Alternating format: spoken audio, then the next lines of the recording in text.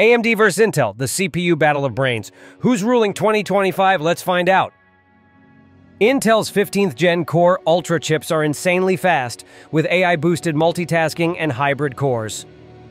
AMD's Ryzen 9000 series fights back with better power efficiency and high thread performance.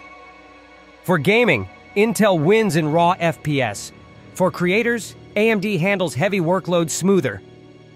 Intel still runs a bit hotter and uses more power, AMD chips stay cooler, especially on laptops, thanks to 4 nm efficiency.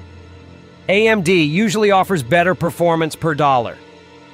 Intel's high-end chips cost more, but you get cutting-edge features like Thunderbolt 5 and deep AI integration.